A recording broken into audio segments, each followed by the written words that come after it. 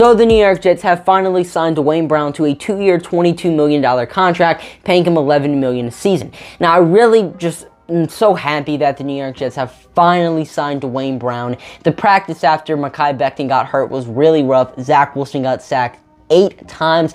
I'm sure the Jets offensive line would have went on just fine without Duane Brown, but now that we have him, I just feel so much better about this team's chances this season and Zach Wilson's health. I'm not going to have to fear that he's going to get sacked eight times a game. So it's just good to see that the New York Jets finally have gotten an insurance policy for Mekhi Becton. And I also really like the fact that it is a two-year deal because while he is Mekhi Becton's injury protection and probably is just going to be an injury protection insurance policy for both of our tackles in 2023, but George Fant also is a free agent next offseason. If he decides to sign with another team, we can just put Duane Brown in his role, maybe draft a tackle in the later round, or just stick with Max Mitchell depending on how, you know, the rest of the season goes, depending on how the Jets are liking his development. So the New York Jets have a great plan in place at the tackle position, and of course, Mekhi Becton is going to be healthy next season. I definitely think, you know, when healthy, I've said it many times before, he's a beast,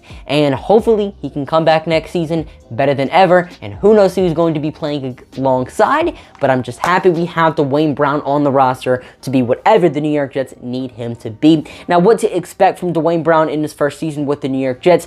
Obviously, as I've said before, he was a Pro Bowler in 2021, but that definitely was kind of just you know, a replacement award. He had a fantastic season in 2020, a season in which he had a Pro Football Focus grade of 87.3, but didn't make it to the Pro Bowl last in 2020. So that definitely was just kind of like a, hey, sorry we didn't get you in in 2020, but here's your reward for, you know, your recognition from your 2020 campaign. So, I mean, he wasn't bad in 2021, but it definitely was one of his weaker seasons as a Seahawk. His age is starting to show in his play, and, you know, as a pass protector, he really isn't anything too amazing, but as a run blocker, he's still pretty solid. Now, as for where he's going to play, it honestly shouldn't be a question. He's going to be a left tackle with the New York Jets. Rich Cimini tweeted out earlier that Duane Brown has only played four snaps at right tackle. It's obvious he's going to be the Jets' left tackle this season, and they're just going to shift out George Fant to the right tackle position,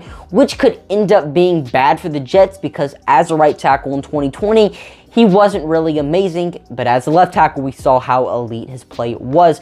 But just glad the New York Jets got Duane Brown. We finally have a solid tackle on this roster that can start alongside George Fant.